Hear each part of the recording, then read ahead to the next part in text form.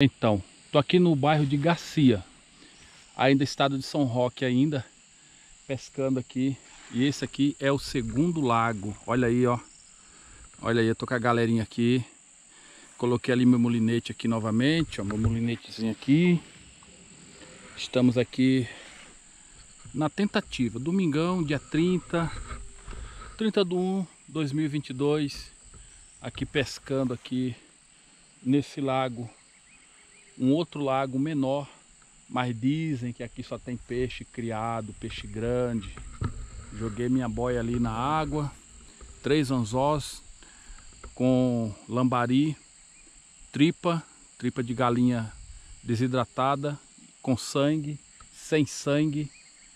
Não tem desculpa. Se o peixe tiver com fome, ele vai comer e a gente vai pegar. É isso aí. Acompanha aí a nossa pescaria aqui. Estamos juntos.